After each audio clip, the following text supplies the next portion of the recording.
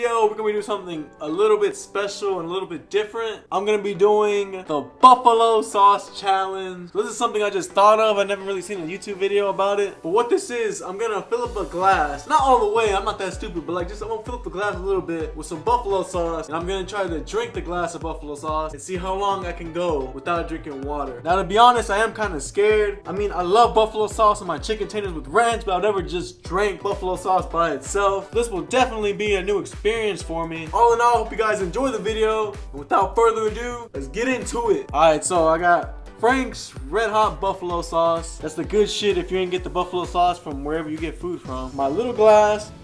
Woo, shit. Woo, that shit's hot. I can already smell it. Fuck. Ah! Well, that's gonna be the glass right here. Decent amount. Like I said, that shit smells spicy. I'm so scared. Do this. Fuck it.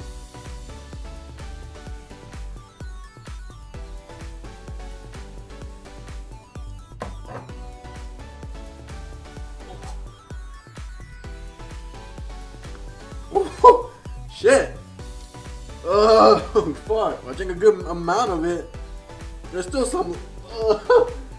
Oh shit, I can feel that on my chest. Uh, there's still a little bit left. I ain't gonna drink that. Fuck that. It didn't taste that bad. Like I thought I was gonna drink it and throw up. It wasn't that bad. The fucking creatine I drink, that tastes like ass. I'd rather drink that than creatine. It's not as spicy as I thought it would be. I thought I was gonna be burning my mouth right now. I was gonna be crying. Feeling good right now. My eyes kind of watered, like one little drop. Nothing too major. I'm feeling good. Hey, I think I won this challenge. I feel good. I can go without. I don't even need water. I feel fucking hype. Yep.